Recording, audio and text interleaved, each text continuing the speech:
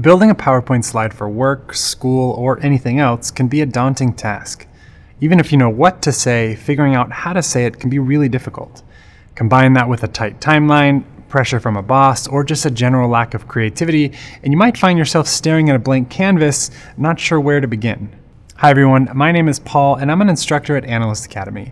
We teach people how to create better PowerPoint presentations based on best practices from the consulting industry. And in this video, I'm going to show you how to build a slide from scratch using the movie framework, a simple five-step process that you can use to quickly create beautiful, well-structured slides, like this one from Strategy And, this one from Oliver Wyman, or this one from BCG. Now, a quick disclaimer before we get started, this won't work for every single slide type. Title slides, keynote slides, and agenda slides, for example, all have their own unique format. But for slides with meaningful content, this approach works really well. The first step in the slide making process is to decide on a message. This might seem like a boring step, but it's a critical one. A common mistake I see is people will pick a slide template, then try to force their message into that template. But that can create problems because it forces you to adapt what you're saying to the logical layout of the slide. And before you know it, you're trying to fill your slide with meaningless bullet points just because they're there. A better approach is to think about what you want to say first, then you can figure out the best way to present that information visually. Let's say we wanted to build a slide about Spotify and their growth in the audio streaming market. Very simply, our message might be something like Spotify is expected to grow. So, to start off, let's put that at the top of our slide. Now, if you've watched any of our videos or taken our courses, you'll know that the title of a slide is incredibly important because it helps guide the audience through the rest of the content. But right now, we're not putting together a fully thought out title.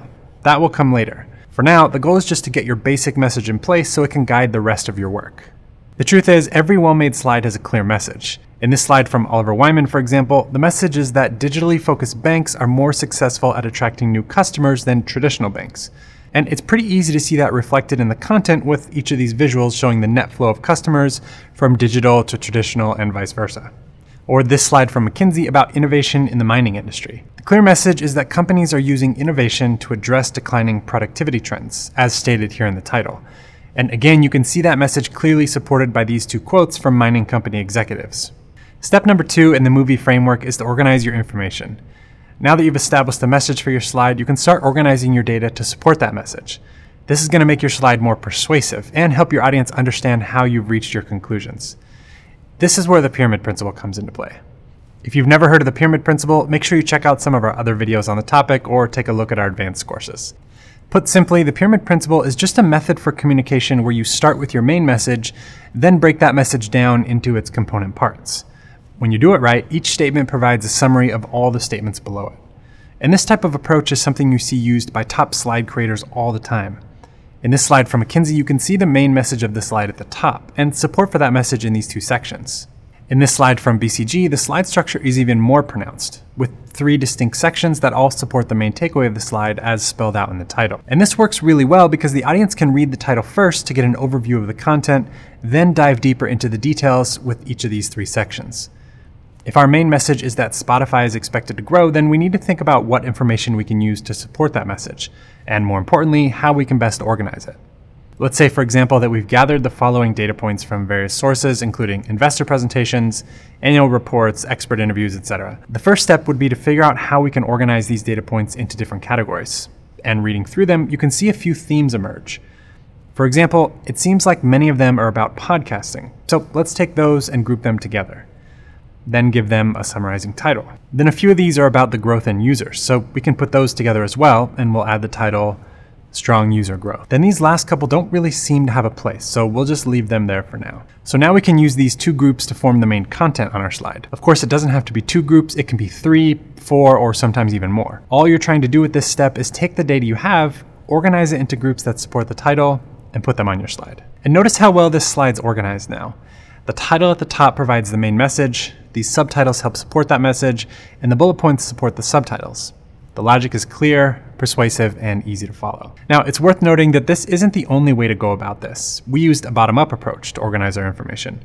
But another option would be to use a top-down approach, where you first decide on your subtitles, then go and find data to support those subtitles. Each method has its own pros and cons, so ultimately it comes down to whichever method works best for you. So with the basic organization of our slide in place, you might be wondering what we should do with these other data points. The answer to that is just delete them. Because the truth is, you don't need to include every single data point you have. You need to tell a compelling story, and being selective with what you decide to include is an important part of that. The next step in the movie framework is to visualize your information. This is going to quickly help the audience understand the details of your slide in a way that a text or numbers can't really do. Without getting carried away, you want to try and visualize as much of the information as possible. Most simply, that means trying to include charts where you have enough data, but that can also mean adding icons, graphics, or pictures. As long as those icons, graphics, or pictures help bring clarity to the message instead of just being a distraction. Taking a look at our slide here, it's pretty easy to see where we could add a chart. In this section about user growth, we can probably just add a chart to visualize the growth. And although these three bullet points aren't all the exact same, they do all cover the same general idea, which is that Spotify's user growth is strong. So to keep it simple, we'll just add a basic line chart that shows Spotify's monthly active users broken down by quarter. That way the audience can get a clear picture of how consistently Spotify has been able to add to its active user base, which is going to help support our main idea that the overall business is expected to grow. Even a simple visual like this can be powerful. Not only does it make the information easier to process, but it helps break up the content, adding a little bit of texture to the slide. There's nothing inherently wrong with a slide of just bullet points, but sometimes a visual or two can help keep the audience from falling asleep. Once again, this is a principle you can see all over the place. Some of the best slide creators use visualization to bring life to information on their slides, and it's very effective. In this slide from Kearney, for example, notice how they've organized the slide into four distinct sections, then use charts to provide support for the takeaways in each section. Then, even more subtly, notice how on this slide from Oliver Wyman, they've used icons to help visualize what might have otherwise been a pretty boring text-only slide. Even little things like this can really help the audience understand the content of the slide more quickly. The next step in the framework is to make your insights clear. This is a critical step in the slide building process that often gets forgotten, even by experienced slide creators. Most slides in the business world tend to be pretty dense, full of text, numbers, charts, and other visuals. And this can be overwhelming for the audience. In a live presentation, the audience has to listen to the speaker, read through the information on the slide, and think of how they're going to respond. Even for a smart and well-informed audience, this can be difficult. So the solution is to make your insights crystal clear. There are a number of ways to do this, but one is just by directly stating the insights. In this slide from BCG, notice how the title clearly and directly states the insights of the slide. Then notice also how the subtitles do the same thing. Instead of just stating a one or two word topic, they explicitly call out what it is they want you to know. Looking at our Spotify slide, there are a few different places we can do this.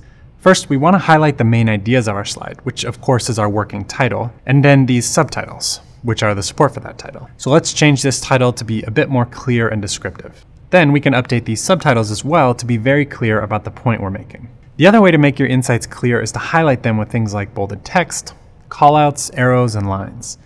In this example from Strategy And, there's a whole lot of text, but the insights are clear because of how they've strategically used color and bolding to help guide you through the information. The main takeaway of the slide is the biggest and commands the most attention. Then the subtitles of the slide use a different color and are slightly bigger than the paragraphs.